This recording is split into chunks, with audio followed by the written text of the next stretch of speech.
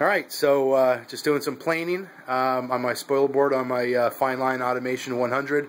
Uh, it's coming along really nice. It's got kind of a mess here in the shop, but uh, I'll get that all cleaned up later on. But um, yeah, just doing it manually here. I know there's programs out there on the internet that I could get uh, to you know put in the the uh, coordinates for my spoil board, but just doing it manually, you can see what kind of a mess it is. I just got done vacuuming here with, with my shop vac, um, so. Uh, but anyways, you can see the fingerprints on the up and down, left and right. I've been going back and forth, but it's doing a pretty good job. Only went down probably oh, about a 16th of, of an inch. I uh, just wanted to give you guys some progress on what I'm doing here. You can see the uh, the stand that I built for the CNC uh, machine. That was a day in itself, which was kind of fun to build. But uh, anyways, uh, we're going to move forward here and keep on playing.